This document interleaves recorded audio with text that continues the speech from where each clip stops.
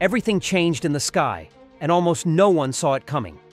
On March 21, 2025, Washington quietly confirmed what insiders have whispered about for years. A new fighter, the F-47, has moved out of the shadows and into reality. This isn't a faster jet or a stealthy tweak. It's a whole new way to fight from the air. For nearly five years, prototypes flew in secrecy. Test pilots pushed limits nobody admitted existed, and billions were poured into technology that reads like science fiction. Now the veil is lifted, and the consequences are enormous. In this video, I'll give you the clearest breakdown yet. The program's hidden origin, the design philosophy that makes it different, the four technical breakthroughs that matter, how it will be used in combat, the economics behind mass production, the single weakness enemies will hunt, and the global ripple effects.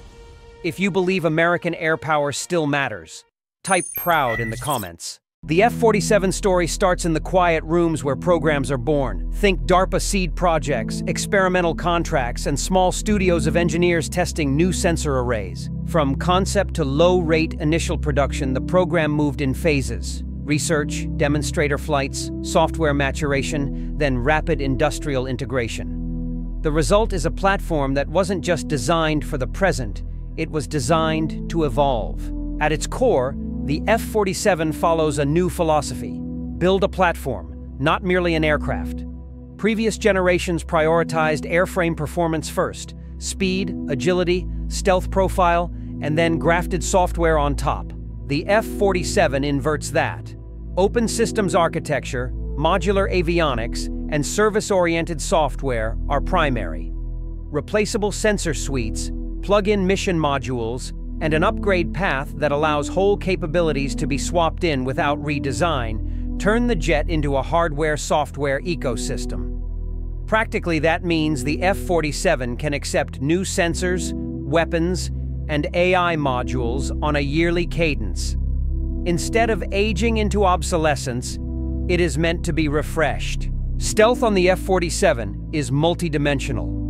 It's not just about reducing radar cross-section, it's about managing the whole electromagnetic, thermal, and acoustic signature package. Adaptive coatings and active thermal management alter emissions in flight. Low observable shaping is paired with electronic camouflage techniques that vary radio and radar returns in real time, so sensors tuned to fixed signatures struggle to lock on. This multi-spectrum approach complicates detection across passive and active sensors, forcing adversaries to invest in more diverse, more expensive sensor mixes. For a target detection network, that raises the bar significantly. Where the F-47 truly changes the game is human-AI teaming. The jet is built as a command node. It doesn't fight alone, it orchestrates swarms of collaborative drones that serve as sensors, decoys, missile carriers, and expendable attack platforms. The pilot issues mission intent. Onboard AI and distributed autonomy execute tactics across multiple airframes in milliseconds.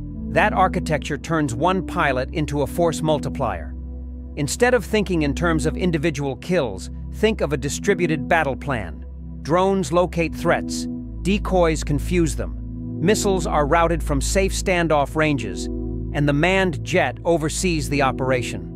The human remains in the loop for ethical and complex decisions while the AI handles split-second coordination. The F-47 program tried to avoid the expensive boutique trap. It uses digital twin engineering, AR-guided assembly, and AI-optimized supply chains so production can iterate quickly and scale. That manufacturing approach reduces unit costs as volume rises and makes field upgrades cheaper.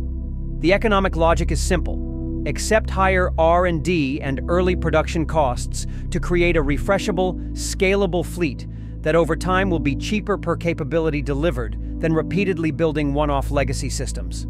That is crucial to turning a capability into a credible deterrent. A capability only matters if you can field enough of it to influence strategy. Two short scenarios show the F-47's operational value. First, penetration missions. Drones act as sensory extensions and expendable decoys, masking the manned jet and drawing fire from layered air defenses. With those SAMs degraded, The F-47 can deliver standoff precision strikes or neutralize remaining nodes with minimal risk. Second, distributed command.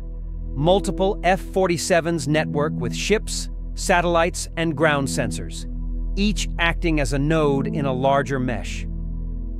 That shared picture enables faster decision cycles and coordinated effects across domains air, sea, and land act as one system. The net result is shorter timelines to achieve objectives and fewer exposed forces. No system is perfect. The F-47's strength, its reliance on networks and data fusion, is also its primary vulnerability.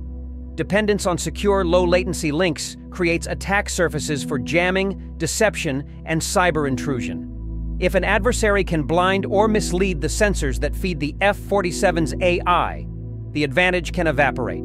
That means the next decisive contest is not just airframe versus airframe. It is cyber resilience, electronic warfare, and supply chain security.